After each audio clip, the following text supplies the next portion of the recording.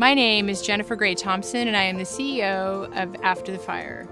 Welcome to the podcast How to Disaster Recover, Rebuild, and Reimagine. In this podcast, we bring you the very best practices, best hearts, and great ideas from other disaster affected communities. Thank you for joining us.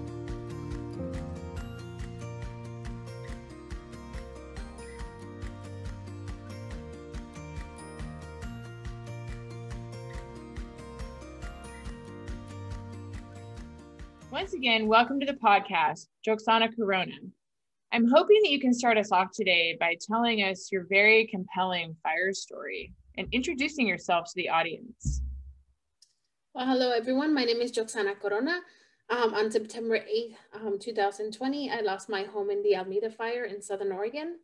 Um, it's been almost nine months, actually, and it's just, it feels like long ago, but yet it feels like yesterday it's kind of like an oxymoron, really. It's, I can't believe how long ago it's been. It, and nine months is not too long, but it still feels like a long time ago. And yet it feels like it just happened. Yeah. Um, September 8th was just Labor, it was Labor Day weekend, really. My family and I had gone to the coast on Friday, Saturday, and Sunday, and had come back um, Sun, Monday night, actually. Um, we unpacked because we got home late from the coast and Tuesday, my husband went back to work. It was my day off on Tuesday, but um, my kids were, it was the beginning of the week for them for their new school year. They were supposed to start school that same week. And um, when we got home from the coast, it was super windy. I remember we were in Crescent City when I realized that there was a red flag warning stating that um, there was going to be a high fire potential and strong winds, which were going to be, um, I think, 50 miles per hour winds, which were uncommon in Southern Oregon. That's why there was a big red flag warning. And I remember being at the coast in our hotel and I saw that red flag warning and it had the map of Oregon and it pretty much the whole state of Oregon was in red flag warning. There was not a place where you could safely go and not be in the red flag warning zone. And I remember instinctively thinking, oh, this is kind of scary. I've never seen a red flag warning all in Oregon. And I mentioned to my husband, should we stay here in the coast like an extra night? Because I just, I was scared and I just had a bad feeling about it. But even in the coast, it was still a red flag warning. So my husband said, no, we're just going to go home. I have to go to work tomorrow, meaning him. So we did. We drove back home. And um, as soon as we got home, the winds were super strong. And our mobile home park had big, huge trees. I mean, people knew Talent Mobile Estates by the trees. Many of the community knew which Telem, which mobile home park I lived in just by the trees. If I ever said, oh, I lived in Talent Mobile Estates, they, they'd say, oh my gosh, the mobile home park with all those beautiful trees. So I always was concerned that a strong wind would knock down a branch on our tree or a whole tree. I lived there 17 years and I have known um, families who had a whole tree fall on their roof um, luckily, there has never been any um, injuries to people. It's just been a lot of damage to those, those roofs. Um, one of those people was my mother-in-law. She lost a whole tree fell on her house about three or four years ago. And when we got home, it was really windy. So I actually slept in the living room because um, the wind was so strong and the our bedroom was the trees right next to our bedroom. And i told my husband oh my gosh this if this tree falls it's going to crush us. So we got to go sleep in the living room. So we did. And before before midnight actually a big branch fell on our roof and it woke us up. My husband went to check it out and there was a big branch like barely hanging on our it was on our roof but it was on but it was like kind of hanging off. Um, it didn't fall on the floor. It was just literally on our roof. So the next morning, my husband said, well, you know, I've secured it. I made sure that it's not going to fall on you guys because my daughter wanted to play outside. My daughter spent that morning playing outside with our neighbors. We know all our neighbors by name, pretty much all the Talent Mobile Estates community um, was an actual community. We knew our, we knew everybody there. Uh, my daughter has a friend who like she's literally two weeks older than her. We, her and her, her mom and I were pregnant at the same time with both with my young daughter and with my son. I mean, we have kids the same age and the community was like a big family. So my daughter was playing outside with, with her friend and her friend's cousins and they were just talking about the wind, how like it was so windy and um, we were fostering kittens and that's why they had to come over because they wanted to see the kittens. We were like known as the crazy cat family because there's always cats or kittens in our house that we're fostering. Um, so after they saw the kittens, they were playing outside and the wind was really strong. So I actually had a short video of my daughter playing outside and the wind was super strong. You can, my video shows the trees like way going, and my daughter's hair was like straight at a, uh, angles. I don't know about angles, 90 degrees angles. It was just like this.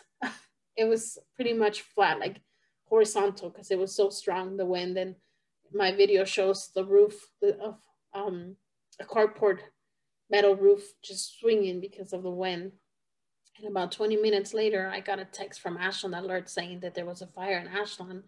And it gave a street, but I didn't know the, the streets. Um, I was lucky that I was signed up for the Ashland fire, not fire alerts, but just emergency alerts, because I was a student at SOU at Southern Oregon University.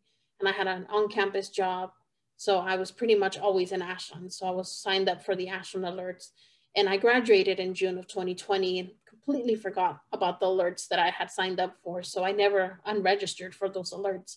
So in September, when the fire started in Ashland, there was an alert sent out to people who were signed up for those Ashland alerts. And I happened to be one of those people. Um, and I remember thinking, oh, um, there's a fire in Ashland. Okay. I looked at the street and it didn't look familiar. So I didn't think it was, I, re- I really didn't have a clue of where it was. Um, but then within a minute or two, I got a second text stating that Ashland um, residents should be alert and um, evacuations were in progress for certain streets. And I remember thinking, oh gosh, that's like less than a minute apart of a text. So I went outside. My daughter was still playing outside. And I happened to look across the street and one of two of my neighbors were outside looking towards Ashland. It was a mother-daughter um, and an older mother-daughter. The mom's in her maybe 70s, the daughter's in her 50s and they were both looking towards Ashland. And I looked at them from their porch, from my porch, I looked across to their porch and they pointed out like, oh, there's smoke coming from over there. And we could hear the sirens because we live pretty close to Highway 99. We can hear the, the sirens of the firefighters and police. So I told them, oh, there's a fire in Ashland. Um, and I told them I just got a text and I know that Ashland is evacuating. So as I was walking my way towards them, because I was kind of talking to them as I was walking towards them, I looked towards the direction of where they were looking and I could see the smoke and they looked way too close.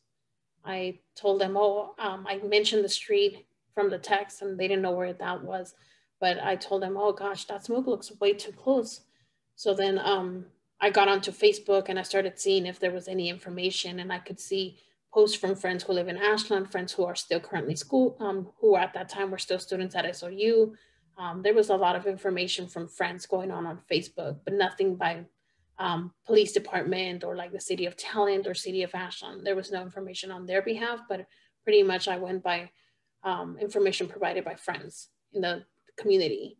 So I told my daughter, you know what, we're going to get out of here. And I told my neighbors, um, you guys need to get out of here because it just doesn't look good.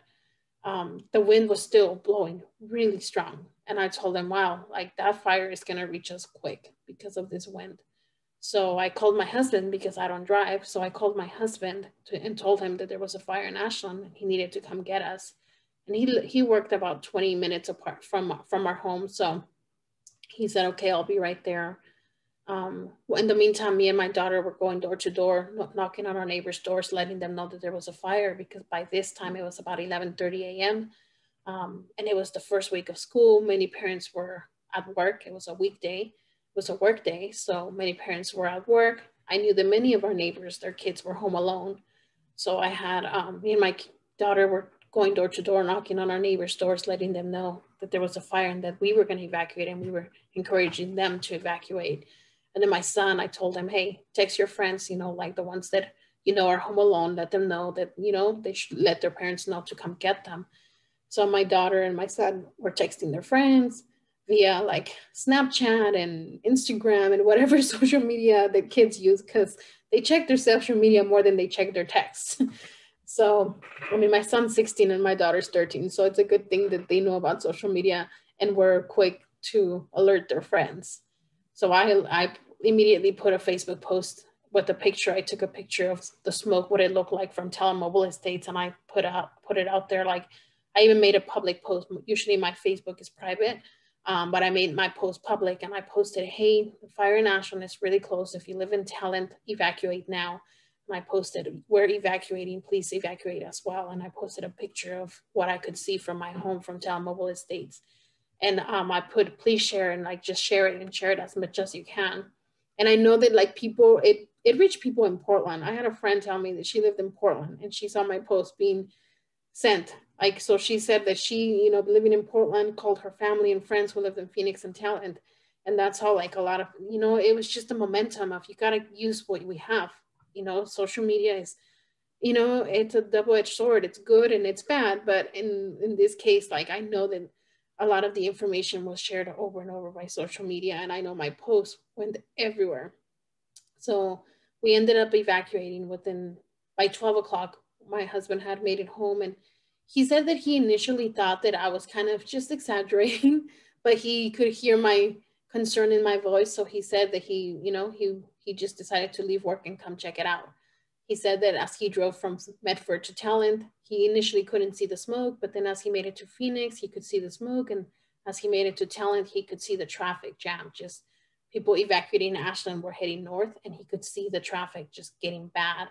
And he was going south because he was trying to get home to us. So as soon as he made it home, um, me and my daughter were still outside knocking on doors and looking for our cats because we had um, we have pets and our cats are indoor outdoor. So my son, my husband, as soon as he pulled into um, our grow on Talent Mobile Estates, like we kind of made eye contact and just the look in his face, I knew it was bad.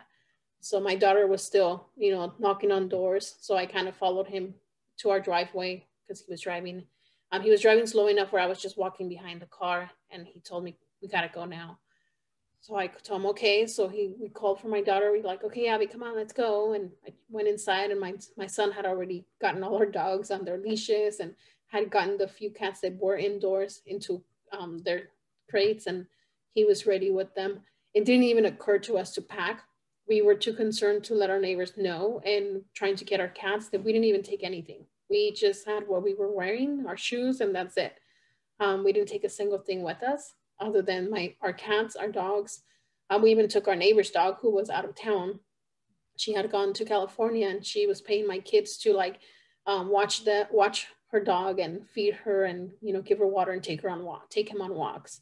So my son was like, oh, we got to take the dog too. You know, we're not going to leave him. Obviously, we weren't. So we ended up leaving with like an extra dog, our two dogs, four cats. And just, I remember my daughter didn't want to go because we still were missing some of our cats. And my husband said, get in the car. We can't wait for more. We can't, you know, they're just going to have to fend for themselves. And my daughter had like a little plastic pool, you know, just a summer pool.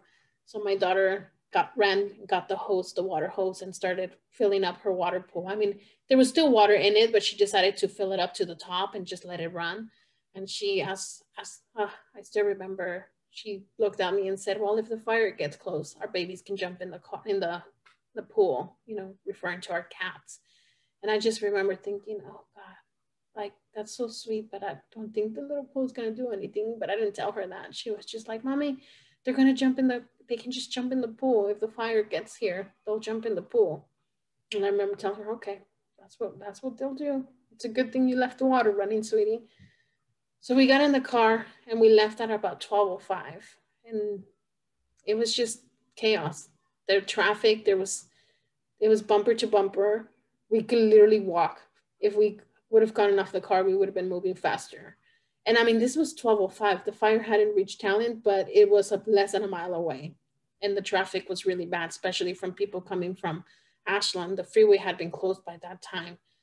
It moved so fast. I know that by the time we, like we were on Valley View Road, which is half a mile away from our house, by the time we were there, we were hearing on the police scanner that the fire had jumped the freeway and it was already coming towards us.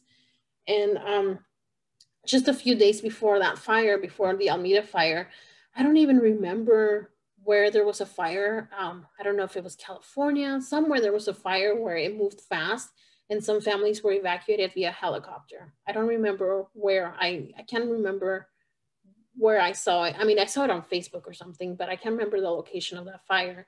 And I remember I was watching that on my computer and I didn't realize that my daughter was watching the video as well.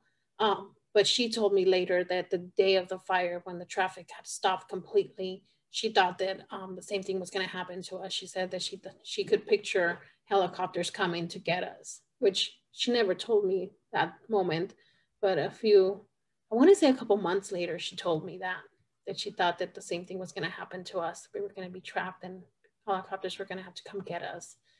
Um, eventually, it took us an hour to get um, out of there and make it to Medford, which is where my husband's cousin lives. And the fire eventually, like, it was so windy, there was fire starting everywhere. And I know that there, there's a lot of people out there who are saying that these were fire, this fire was deliberately started and that, you know, the fire was started by many people. It was an organized thing. I don't believe that. I genuinely don't believe that. I know how windy that day was. I know how the ambers work. I just don't believe that happened. But I don't believe that it was purposely said. Like, it, I don't believe it was an organized event. Like, no, it was just a bad, a lot of bad elements worked together that day to make it the way it became. Um, but we happened to be in Medford. Um, we were there all day, and by six or seven o'clock, an, uh, a fire started literally across the street from where we were. And we could actually see the flames that were way bigger than the house behind us. And um, I remember thinking, oh my gosh, like in the morning when we left Talent, we could see smoke. And I knew that the fire was less than a mile away, but there was still like that half a mile gap between us and the fire. But when we were, when we had to evacuate the second time on that evening, the fire was literally across the street. We can see the flames and everything.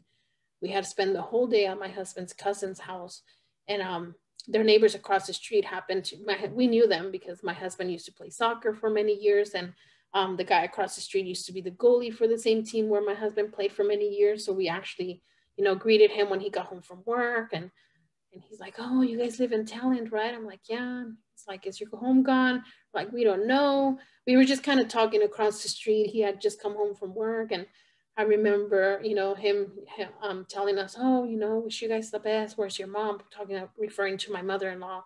And at that time, um, probably one of the like the whole situation sucked because my mother-in-law was working the day of the fire. She had actually been um, quarantined due to COVID. She tested positive for COVID in early August and she got really sick. She missed almost a month worth of work. Um, and that day, the day of the fire, was her first day back to work after being off for a month.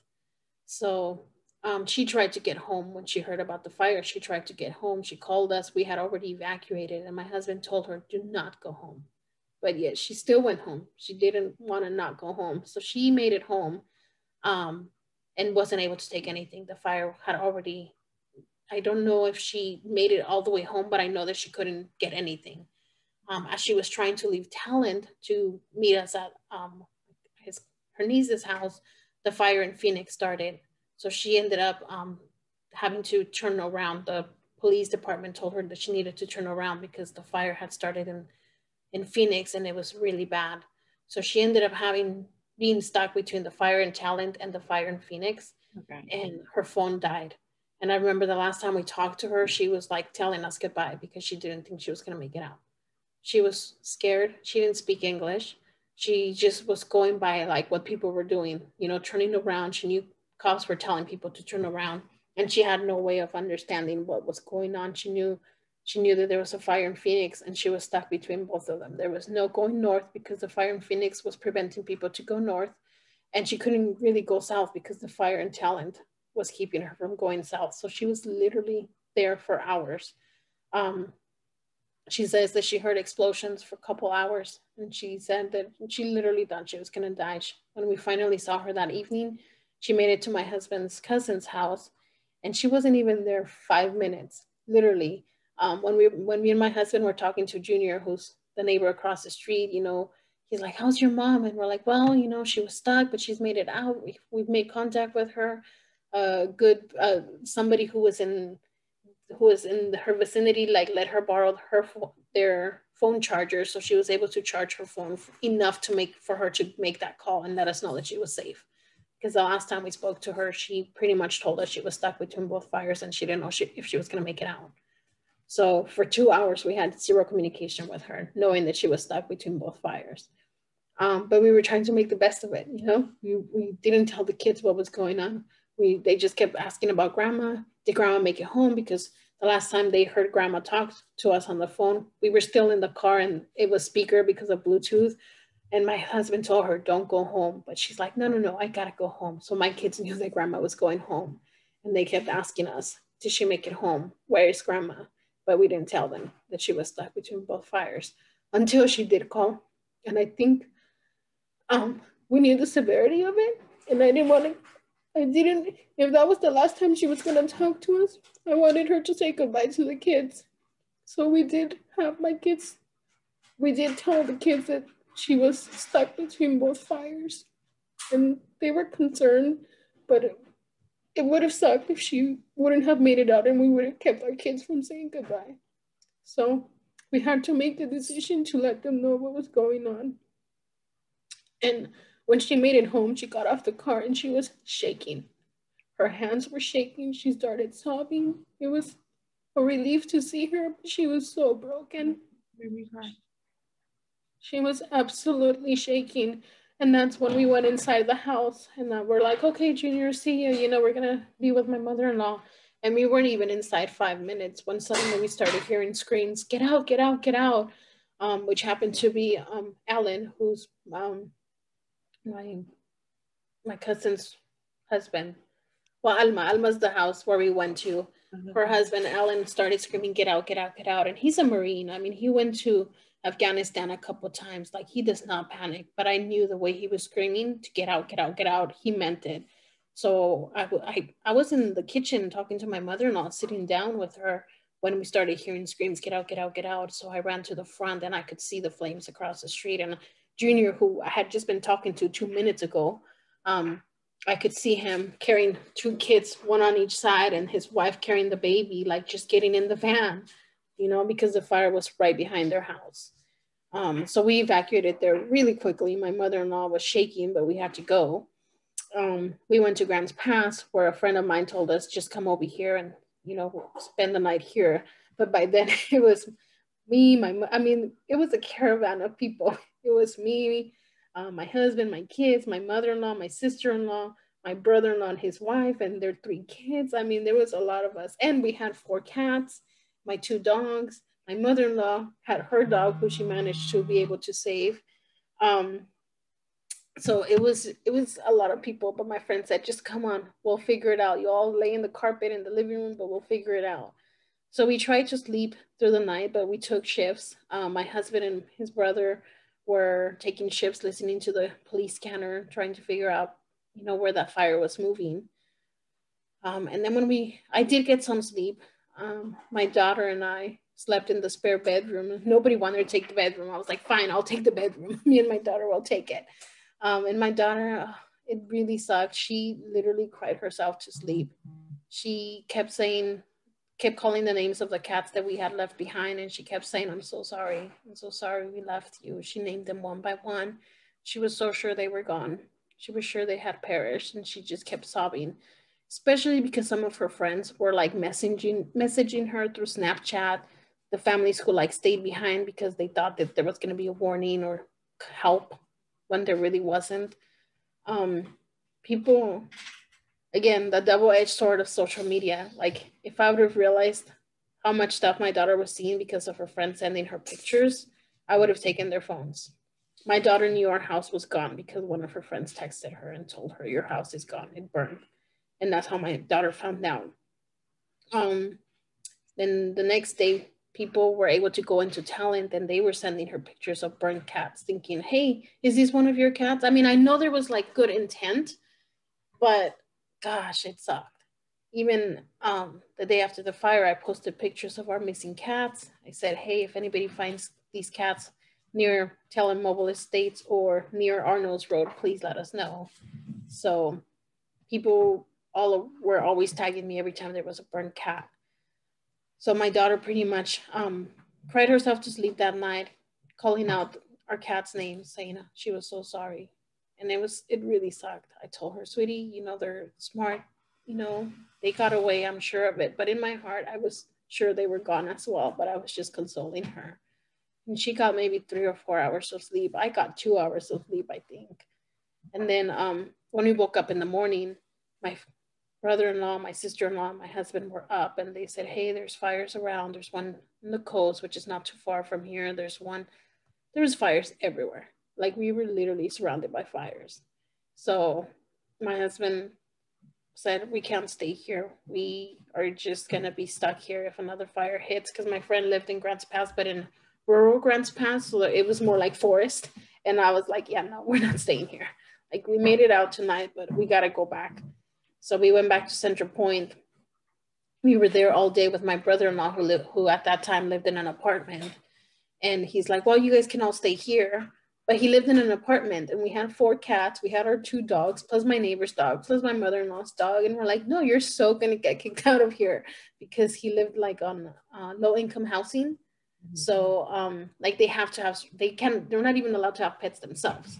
So, so I told him, you can't, we can't stay here. We'll stay here during the day, but we'll figure it out. We'll go to a hotel or something.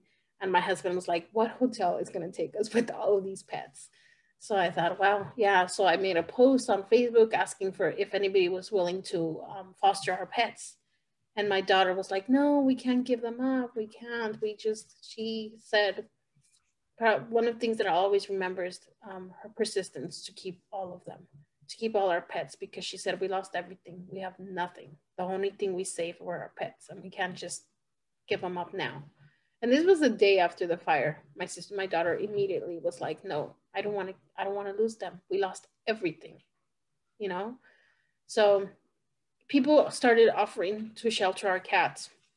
We had four at that time, four were missing, and then our two dogs. So people did offer to to foster our cats separately, not together, because there's a lot of pets. Um, but eventually, eventually, um, a friend of mine reached out and said, just come on over to my house. I'll you know, it doesn't matter. Bring them all, bring all the pets. And she had two cats herself. And I was like, well, cats are mean to new cats. And she's like, don't worry about it. We'll just figure it out. So we went to her house and she lived actually less than a mile away from where the fire started. She lived on Hersey and the fire had started just down the street. She said that when the fire started, um, she evacuated herself, but the, the wind turned and it, you know, had the wind been the other way, like her house would have been gone but the wind just turned the other way and her house was spared. She literally lived like you could walk to where the fire started. Um, and my husband said that actually that was a safe place to be because if the fire started again, there was nothing to burn. Like all the fuel, everything that had burned would keep the fire from reaching us again. So we did. We were there. Um, we went there Wednesday night because in Central Point, after leaving Grants Pass, we went to Central Point to my brother-in-law's house where we were trying to figure out what we were going to do before we could actually figure out what we were going to do. Another fire started in Central Point and we could actually see it. My husband is actually one of the people who called 911 because we were like, there's some smoke over there. We looked and next thing you know, there was a fire. So my husband called, called 911 and he didn't want to tell the kids, but at this point I'm like, no, we need to be on full alert. Get the kids in the car, let's go. Um, so yeah, we evacuated a third time. So we evacuated Talent in the morning on Tuesday. We evacuated evacuated Medford the evening on Tuesday. Then we left Grants Pass in the morning because the morning of Wednesday because there was too many fires around us. Not close enough where we needed to evacuate it, evacuate, but we weren't going to wait for that either. Yeah. So then we ended up pretty much evacuating four times, four times in a 24 hour period. But the fourth time we ended up going to Ashland where my husband said we would be the safest because the fire had started there and there was no fuel for it to, to burn again. And we were there pretty much Wednesday night through Saturday, through Sunday morning, because on Friday night, um, we ended up having um, the Girl Scout Center reach out to me. Um, they called me saying that um, they were aware of our situation. My daughter's a Girl Scout. She has been for nine years since she was in kindergarten and she's in going into eighth grade now. So this will be her eighth year in, in Girl Scouts and both my husband and I have been involved with Girl Scouts. I'm a camp leader. My husband does food sales with the girls, not just our daughter, but like the troop. So we've done, we've been pretty involved since my daughter was in Girl Scouts since kindergarten. So now you've been evacuated several times. You end up back in Ashland. And for those who don't know the Almeda fire, it was started in Ashland on the Greenway. And then it whipped up the Greenway, which turns out are they're really efficient um, carriers of wildfires. Um, and a lot of the fires that she's that uh, that you are referring to um, have to do with ember cast fires. Uh, embers can go up to five miles ahead. There, it's terrible for the listeners who are not familiar with how the dynamics of mega fire, very difficult to manage. Um, so then the Girl Scouts, which you have, which you have a long history of, they reach out to you and take the story from there. Yeah, they reached out to me on Friday, letting us know that they were aware that two registered Girl Scouts had lost their home. Um, and one of them, um, they had like an RV, so they were kind of set and they had homeowners insurance, so they didn't feel the that they needed the support from Girl Scouts. So they asked, them, they said that they wanted to reach out to us, finding wanting to know if we needed shelter, and they would offer us shelter. They actually offered us shelter. They said anywhere you want to go, any of our Girl Scout facilities, because of COVID, everything's locked down and closed. They were so supportive. They were like, if you want to go to the coast, we have a facility in the coast. If you want to go camping in the woods, we have a facility in the woods and I said, no, I have a job and so does my husband. We can't just take off. So they said, oh, how about the Medford Girl Scout Center? And I said, yeah, we can do that. And the Medford Girl Scout Center is, um, there's a Medford Girl Scout store right next to it. There's the, the Medford Girl Scout Center. It's almost like a small community center for Girl Scouts. There's a small kitchen. There's like the um, stall bathrooms. And then there's like the big open space. It's equivalent to about a small gym. So that's I knew what they were talking about when they said the Medford Girl Scout Center. I had been there many times hosting events for our troop or helping out with um, with community led events. So um, so I told them, yeah, that'll work. But then she said, okay, so it's just you guys, you four, right? And I said, no, it's actually us four and my mother-in-law and sister-in-law. And I mean, they know us, so they knew they were a family of four. So they said, okay, so what, like, how, how did you go from a family of four to a family of six? And I told them that my um, mother-in-law and sister-in-law also lost their home because they lived in Mobile Estates as well. Um, and she said, well, I got to talk to our supervisor because we are offering shelter to um, the Girl Scout family, which consists of us four. And I told them if we can't have my mother-in-law and sister-in-law, we can't accept the shelter. We're not going to be like, see ya, good luck. Mm-hmm. So they called me within an hour and said that's fine that they would offer shelter to us six, but um, because of COVID and everything, they they made you know pretty they made it pretty clear that they would only be offering shelter to us six. We weren't we, they couldn't offer shelter for more people because of quarantine. We would be considered a quarantine area. So, you know, and that's actually a really important point that, you know, how you had to navigate your your mega fire also included this whole other comorbidity of COVID. And so a lot of the strategies that we had, we would typically advise or use or implement during a disaster were not even available to uh, most people. And so, so you move in with your family then to the Medford Girl Scout Center and shout out to Girl Scouts, by the way. Yes. And how long were you there? We were initially told, oh, okay, you guys can stay here two weeks. And then, you know, in two weeks, you'll have your things figured out and, you know, go, go ahead and um, move out. But you know, two weeks later, there we were still looking for housing because it's hard to find something somewhere to move into when you have that many pets. You are two weeks, uh, you're two weeks in. And one of the things that happens in all disaster areas, especially with wildfires, is there, it's not like, and in wind and rain, often people can go back to their homes and sort of make do um, while they go through a remediation process um, if the home isn't totally gone.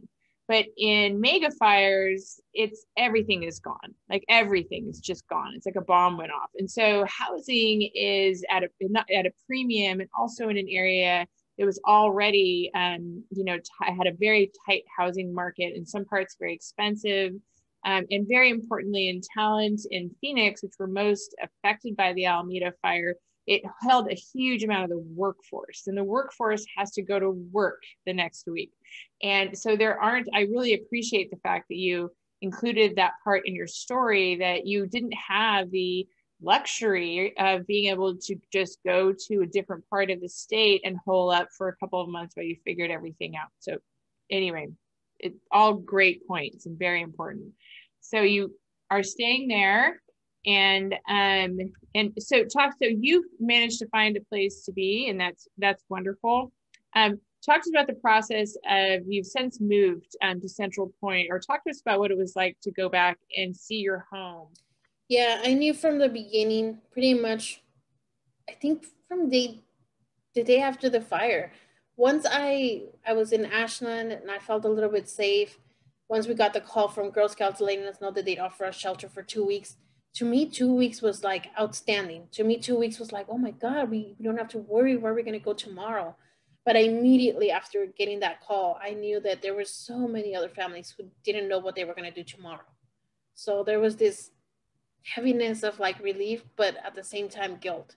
There was this guilt that I didn't have to worry where my kids were going to be at in the next two weeks because I knew that many of my families didn't have that luxury. And I feel that I am privileged to be able to um, be a volunteer at Girl Scouts. I feel like I am privileged to have been PTA president at my school or at my kids' school.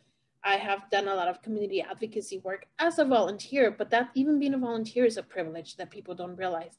Many of my communities, like you said, were in the workforce. They were working in the fields, working in the orchards, working in restaurant, working in um, hotels, in the hospital hospitality business.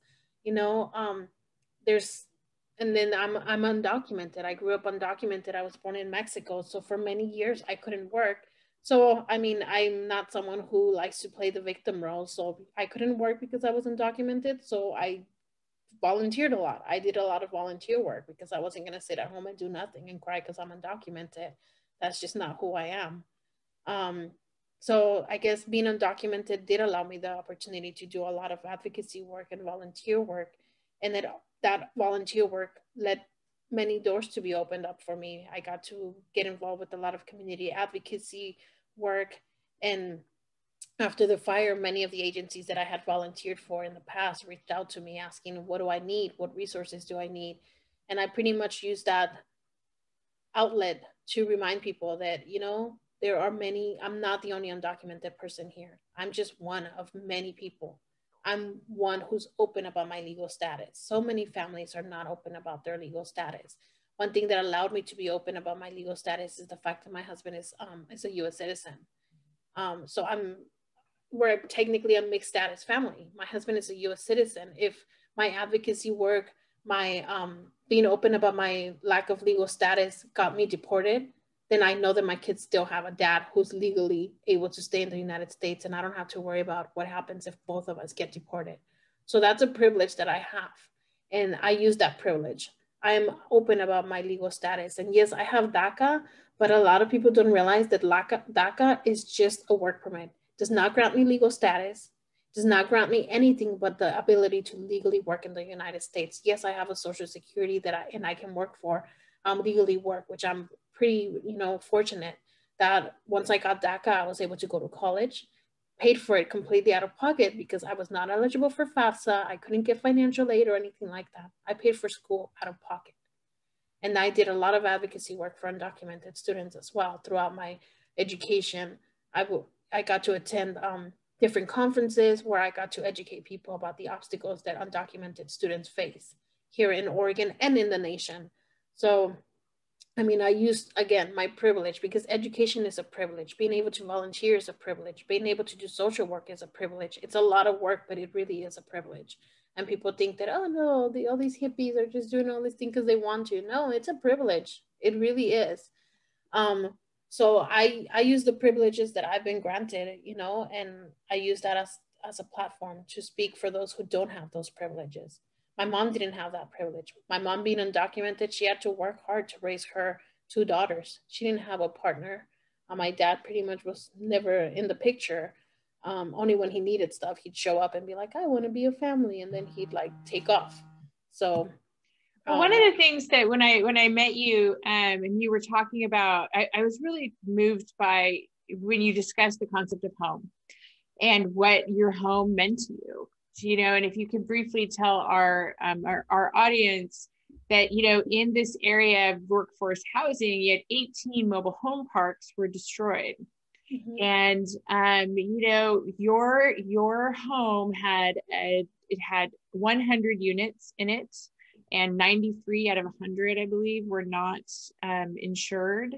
And, and at the same time, many people were of mixed status. So if you could give us an idea, just if you could let the audience know your story of how you found your home and, and that it meant so much to you and you also used your home as a beginning place for where you've done all this volunteer work where you've completely contributed to your community in really meaningful and impactful ways. Yeah my husband and i moved to Talent estates in 2003 um, my husband and i we we're both immigrants. Yes my husband is a u.s citizen but he was born in guadalajara mexico and i was born in puebla mexico um, both him and i actually came to the united states in 1989 but he came to Oregon and I came, I went to California. My, that's where my mom settled. Um, his dad was in the process of becoming a legal resident. So after many, many years, 20 years almost, it took him to become a legal resident. That's when he was able to apply for Carlos to become a, a citizen um, because Carlos was still a minor when my father-in-law became a US citizen. So that is how my husband got legal status. I didn't have that opportunity. My mom came here undocumented. So my mom didn't have an established status. Therefore, she couldn't apply for status for me and my sister. So we pretty much grown up undocumented, you know, but we both are immigrants. Both my husband and I, he's a, he's only two years older than me. So he came to the US when he was six, I was four, and he does remember life in Mexico. Um, when he became a resident, his illegal resident, his parents went to Mexico and when he was 18 years old. So he remembers going to Mexico and seeing his grandparents and the life that he left 12 years earlier. Um, I've never had that opportunity to go back to Mexico. But for us, it was very important as parent, as undocumented, as, as immigrants and as kids, um, ch- children of immigrants, it was very important for our kids to have a stable home. Mm-hmm. Because in LA, I mean, I remember bits and bits, bits and bits small pieces of Mexico, but I don't actually remember life in Mexico. I remember just small things. Then I moved to California, and Southern Oregon, Southern California, where due to legal status and just a lot of stuff, my mom always moved. My I, I can't even count the, the amount of times I've moved as a kid. So when I moved to Oregon and I met my husband, it was very important that my kids never had to move so many times. Because even my husband in Mexico, he had a set place. Then they moved to Southern California for just a short while. Then they moved to Oregon, and in Oregon they settled in Talent. Then they moved to Phoenix. Then they moved to Central Point, and then my husband and I moved to Talent. So he's moved a few times, less than five times, but still he has moved often. So for us, it was very important that my kids never had to move. So when we purchased our house in Mobile Estates in 2003, like that was home to us. Um, at that time, it was a two bedroom, two bath home. Um, over time after having two kids we added a, two, a third bedroom in 2017 so it was then a three three bedroom two bath. Um, but yes that is where i did a lot of my community advocacy. I even taught english. I taught esl in my living room where people paid me with like tamales or tostadas or food okay? Because i never charged for my services. Um, but people wanted to pay me and i refused to take their money. So eventually they started bringing me food they're like, oh, uh, they would ask me, what do you want? And I was like, no, nothing, it's fine. So then they would turn to my kids, oh, mija, what do you like? What's your favorite food? My daughter would always say tamales. So they always brought tamales. And then my son was like, oh, how about enchiladas? So that's how my um, ESL classes at home um, got paid for with meals by our neighbors. Um, that went on for a couple years. And same thing, when I was PTA president, I did a lot of my volunteer work at home, like made translated forms, translated things for teachers. I did a lot of things from home because I couldn't legally work, but I was home with my kids. So um, I got to know a lot of my community because a lot of my community came to me when they needed forms translated, when they needed a letter read and translated for them, when they had letters from their teachers.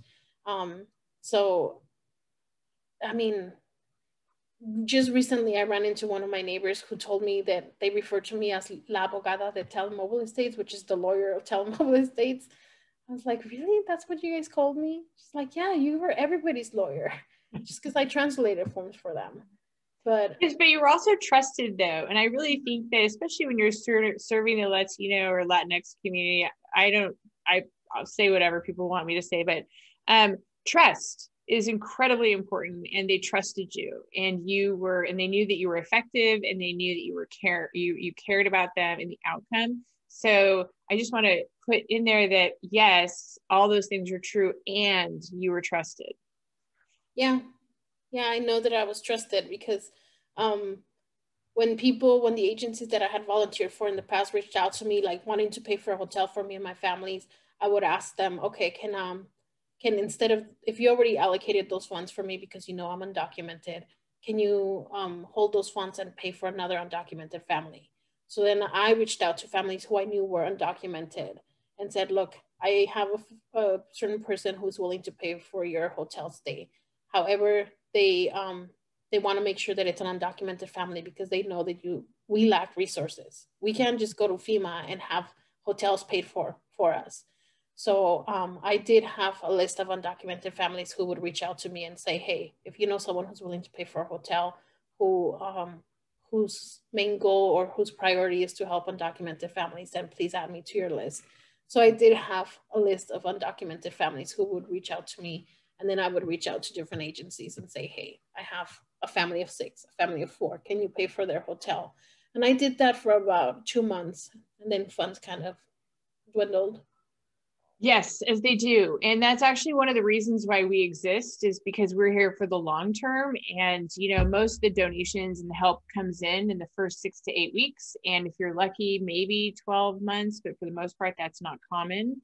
Um, but people really start to need the most help many months post disaster. Like they need, you know, things that will stabilize their future. Um, and most people don't understand, you know, that FEMA it won't help you. It's not that they don't care, but they're legally unable to help people who are undocumented. They, I was very, very pleased to hear Governor Kate Brown talk to the uh, Biden administration last week about how important it is to include undocumented people in our disaster relief efforts because, you know, undocumented people pay into the tax system constantly, but they have no ability to extract from that system. And so it's a myth that somehow they just come, you know, that people just come here and somehow don't contribute, but then they're taking out of the system. And it's really the opposite is true. They're putting into a system they cannot access when it really matters. So can you talk about that experience of, of witnessing that and being an advocate and being this really critical emergent leader you were already a leader but you were an emergent disaster leader for ensuring that you know you could connect the resources where they were but really the long-term struggles for people who you know pay into a system that they cannot access. Yeah well with daca like i said i can legally work in the united states and i've been paying taxes. I have all that fica thing paid. I get all these deductions from my paycheck yet I can't apply for unemployment. I can't apply for emergency funds. I couldn't even apply for financial aid when I was going to college. And I was working full time to go to college, yet I couldn't apply for that. So any aid that comes from the federal, any federal aid, we're not eligible for because legally we're not we're not documented. Even my DACA card, um, which has it's it says employee authorization, right at the bottom it says no legal status. So I mean, yeah, I'm legally um, able to work, but I have no legal status. Therefore, I'm not eligible for any resources available by the federal government. Um, I did, um, I, it did take me five years to earn my bachelor's. And um, so along the way, I was able to get private insure, private, um, private scholarships. Mm. So private scholarships can set up their own requirements. So I got a lot of private scholarships that helped me pay through my bachelor's. My first two years at my community college I paid for completely out of pocket, working two jobs and going to school part time. Um, and then my third year was pretty much fully paid by scholarships. My fourth and fifth year, I was able to transfer to Southern Oregon University, where I got my bachelor's in psychology. Um, and at so at RCC, I got my bachelor's in um, human services, which that, I felt that that was my calling, like to serve people. That's not not human resources, but human services. People get those two confused. You know, human services is social work, and that's what I wanted to get my degree in. And then at SOU, I just became fascinated with psychology. So I might I majored in psychology there. Um, but yeah, a, a lot of this is a privilege that I've had because of my advocacy work. I was able to get private scholarships that didn't require U.S. citizenship. And um, I know the struggle of what it is like to read between the lines. There's a lot of forms out there that say, oh, you no legal status required. But the first question is, what's your social security number? Or no legal status required. I mean, people don't realize how many forms require a social security number. you go to the dentist, you go to the clinic, you go to even an eye doctor and they ask you for your social security, or they even ask, are you a US citizen? You know, most families, especially after the disaster, I know many families who went to different agencies and tried to fill out a form. And as soon as they saw the question, are you a US citizen? They dropped the pen and walked out. Or if it asked, what's your social security number? They were done. They weren't going to fill out that form anymore. Why? Because because they're afraid that that information is going to be shared with the government and they're going to get deported. You know, families like myself, I'm I'm going to be 37 years old this month, this um this year, and I've been here since I was four. My entire life is in the United States. Home is here. I know that there's that might sound like a cliche because that's what a lot of DACA's people say home is here, but this is home. Home is here. If I was to be deported to Mexico, I have nowhere to go to nowhere. My mom still lives in LA, so does my sister. My dad is has never been part of the picture. So I don't have anything to go back to.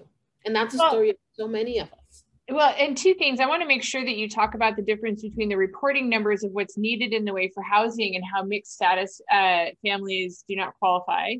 Mm-hmm. um, and and you know so how those numbers are actually skewed in communities like yours and communities like mine that have a significant number of undocumented um, maybe up to 27% of our population um, is undocumented and we and very much pays into and contributes to everything that we we do here and in fact we couldn't function in wine country if it were not for um, undocumented people. And that's something that maybe is an impolite thing to say, but it's absolutely true.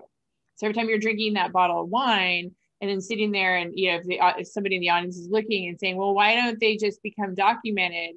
Let's just answer that question now before we go into the issue of FEMA and housing. Like, so so why is it that it is you know what's the how why is it that more people just don't simply become documented well because the um I like to use this like movies. If you've ever seen a movie where a woman goes into labor and she gives birth like within five minutes, because in movies things happen like that, that's kind of what immigration is like.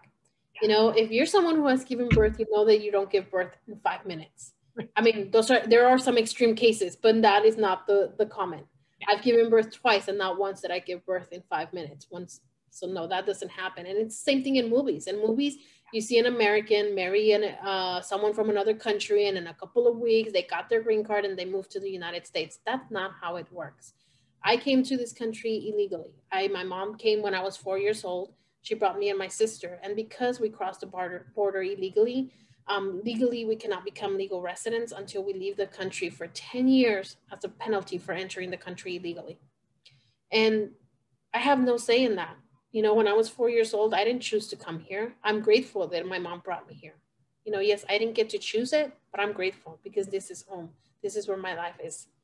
But at the same time, to be penalized for something that I had no say in is is unrealistic. It's it's ridiculous.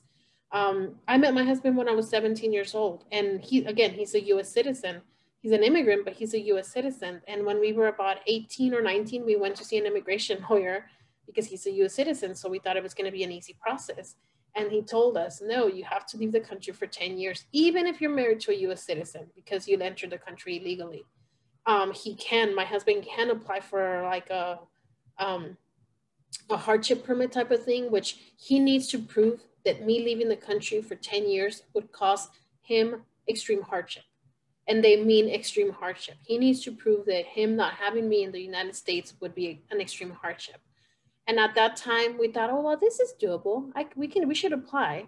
Um, so we were actually going to start the process of me becoming a, a resident, and he was going to apply for that extreme hardship, where um, if approved, then I don't have to leave the country for 10 years. But then we found out I was pregnant with my son. And then we were like, no, because if I'm not approved, I'm going to be deported and our son's going to be born in Mexico.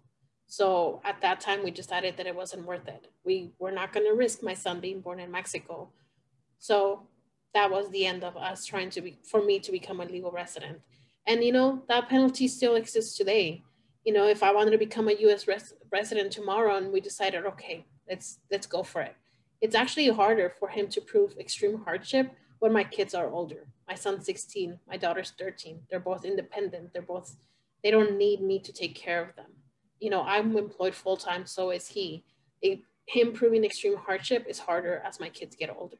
It would have been easier when my kids were younger, but it becomes a harder thing to prove um, when the kids are older. And especially like my lawyer's like, oh, is your husband an alcoholic? Does he have any diseases? Does he have anything that he depends on you to take care of? I'm like, nope. They're like, what about your kids? Are they in juvenile detention? Do they have any problems? I'm like, no, actually, they're really good. They're community leaders as well. And that's lawyer, insane. Yes. I mean, that's that's insane that you that you you know uh, like you're like to your kids can you can you go into the juvenile system? And to your husband do you mind becoming an alcohol? I mean that is insane because you're doing everything right. Mm-hmm. yep. Yeah i have to we have to prove extreme hardship. My kids it, they're not. My kids are community leaders just like me. So um, for us we know that proving extreme hardship is going to be hard. So we can't i can't apply to become a legal resident. Unless i'm willing so with the uh, Right. And to go where to a place that you haven't seen since you were four, because the other side of our really dysfunctional immigration system is that the more people demand like closed, tightened borders, the less connection people actually have with the countries that they came from because they can't go back often for decades and often never because mm-hmm. you cannot just easily like you know move between the countries so that's we could um we could talk about that all day. And i just want to acknowledge like i admire the fact that you are so out in front in uh, about your your status and that you're an advocate because the only way we can get to the place where this isn't um a very you know so dysfunctional is to have a lot of straight truth and honesty and advocacy and leadership. And that is a brave um, place to live. And i just want to thank you for being in that brave place because it matters So, but when it comes to the dot undoc, you know, if you have um, mixed status families, which is more common than not, so you have some people who have legal status and some don't. Um, the, you know, when they want to go into FEMA trailers, for example, like if, if there, there's a big new beautiful uh, FEMA trailer complex right next to Talent Mobile Estates that just opened. Totem Pole Mobile Home Park. Yes, that's where. And um, and we toured it and we were there last month with Fannie Mae. And um, one of the conversations though that has to be had is, you know, who will be living here and who is not allowed to live here. And so, you know, you can contribute for 20, 30, 40 years to a community. And then if when it all comes apart, you know, due to a natural disaster, what happens to those families? What has happened right now to those families? Um, well many families are living with their cousins living with their in-laws living with families um, in two bedroom apartments who are now living rooms are turned into extra bedrooms or garages are transformed into an extra family space. So so what so they're doubled and tripled up in homes but what's their long-term prognosis with the loss of so much uh, workforce housing in your area? Are people leaving? Are they staying? Are they what? What do you What are you seeing? Honestly, I think a lot of people are losing hope. I can, conversation about leaving and staying is not even there. It's more like this hopelessness. Um, yes, the one thing about mobile home parks is um, like the Almeda fire took down 18 mobile home parks and these were our affordable housing. We're looking at mobile home parks where rent was anywhere, depending on which mobile home um, park, you're looking between 380 and $600 a month. At Talent Mobile Estates, we paid $495 a month for rent. I had lived there 17 years. When I first moved there, rent was $250. Today, in today's um, economy or today's world, you're not gonna find anywhere to rent for $495 a month. We're looking at apartments that are two bedroom apartments for like $1,500. You're asking families who were paying $495 a month to come up with 12 to $1,500 a month for rent. It's unrealistic, especially when these are families who are mixed status or undocumented, who do not make minimum wage. They're getting paid maybe under the table less than minimum wage. They're getting paid $5 an hour. They're getting paid by the day instead of by the hour. Um, so, Chuck, Jocksana, here we are. We're about nine, ten months post disaster. You're still in that first year, which is sort of like we call it a fire, fire war, like the fog of war is really in that first year post disaster. And then it starts to really, um, you start to really feel how long and difficult and but possible that's why we show up um, it is to recover we're also really interested though in how we can influence and affect policies and how we can do better at the re- local state and national level you know when we go talk to fema or HUD or um, any of the major agencies and so I'd really like to hear from you. What's your message for the decision makers who, uh, you know, are putting are looking for better answers on how to deliver um, for all families post disaster into every community? I think the requirement of legal citizenship or legal status shouldn't even be a factor when it's a big community um, disaster like we experienced.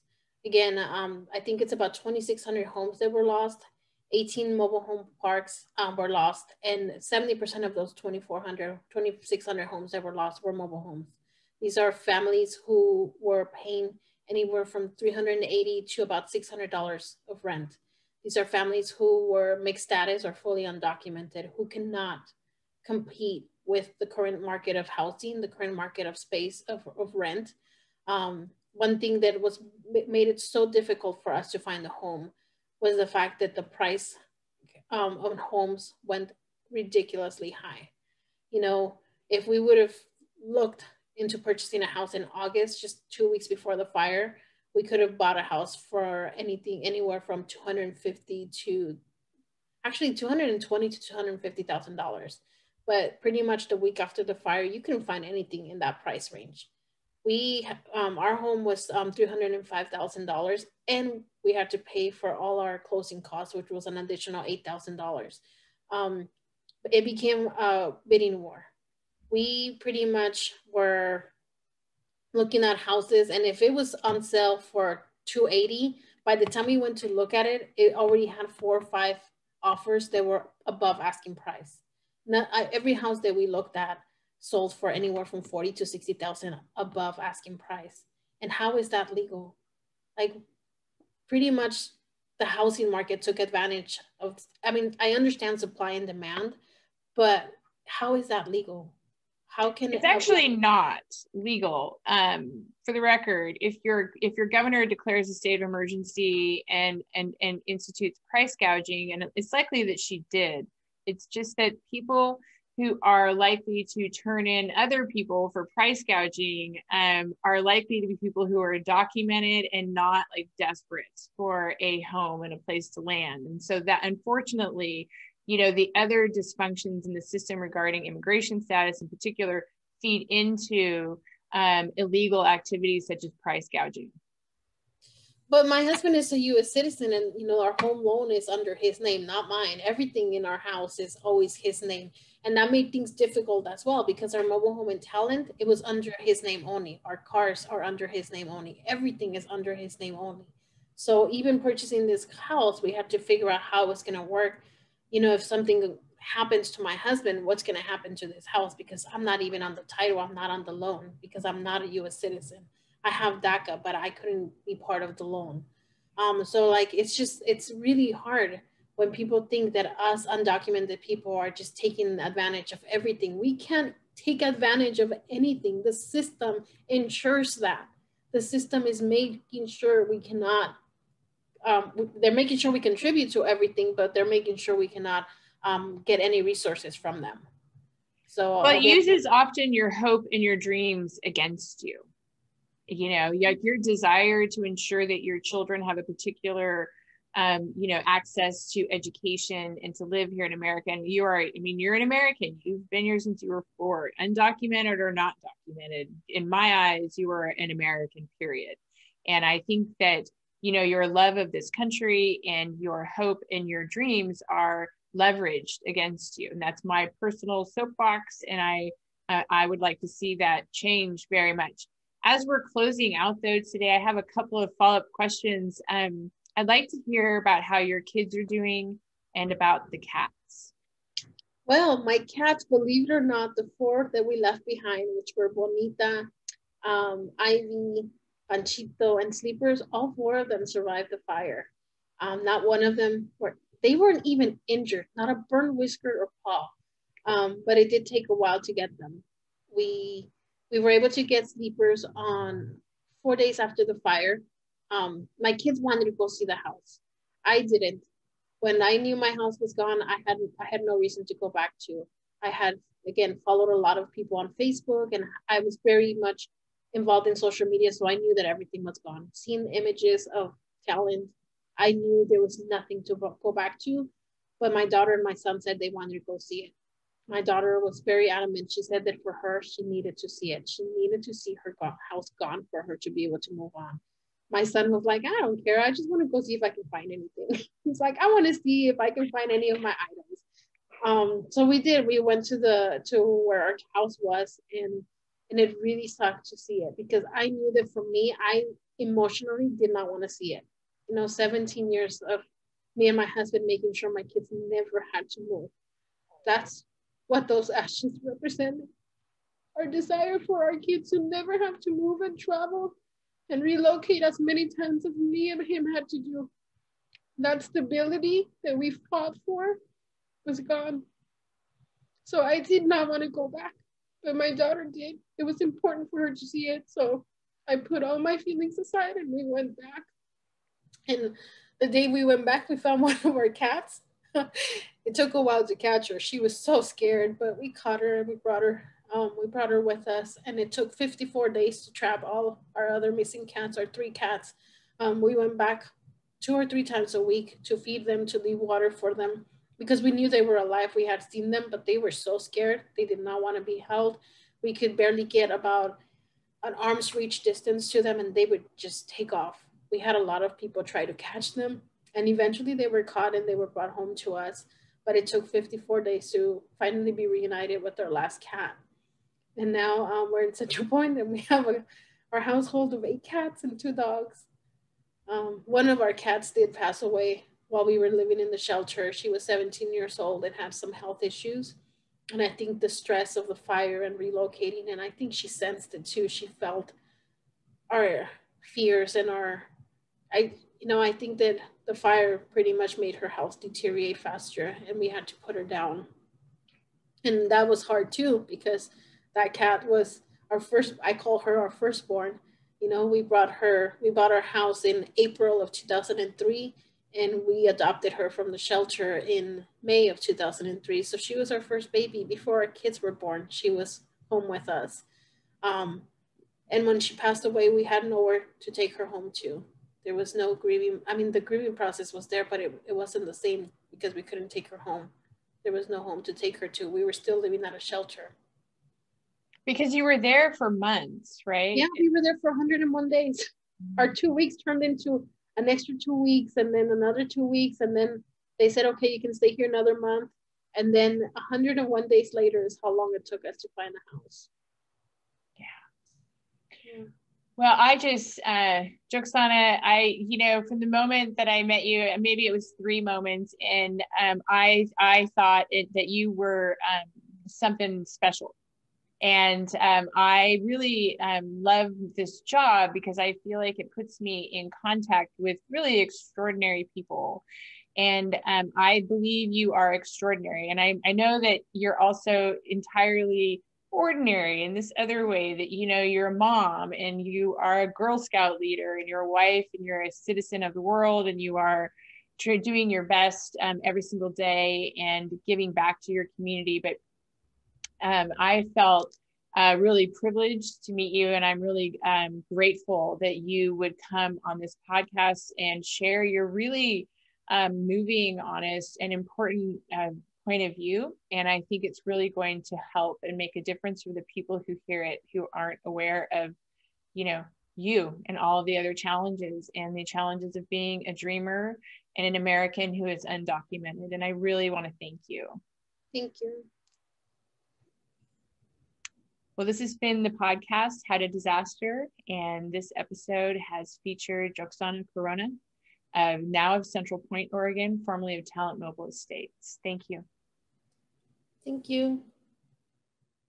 Thank you for joining us on the podcast How to Disaster. For more information, please visit our website at afterthefireusa.org. And if you liked this video, please hit subscribe.